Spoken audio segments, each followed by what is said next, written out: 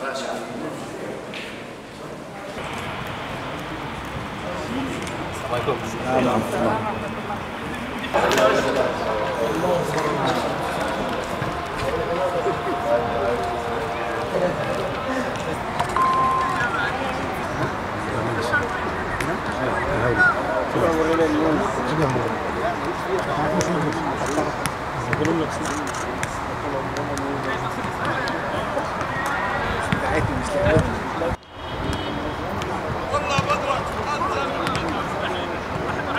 Le premier match, ça a bien fonctionné, c'est bien passé. On n'a pas encaissé de but, on en a mis deux. Donc j'espère, Inch'Allah, que ça continuera comme ça. Maintenant, voilà, on se tourne vers le Sénégal, un match plus compliqué, euh, à nous faire valoir les qualités de, de notre équipe.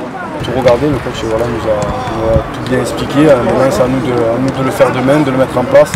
Et voilà, mettre l'envie sur le terrain aussi. que, voilà, c'est des grands joueurs et que, que si on veut gagner, ben, il faudra qu'on récolte présent demain.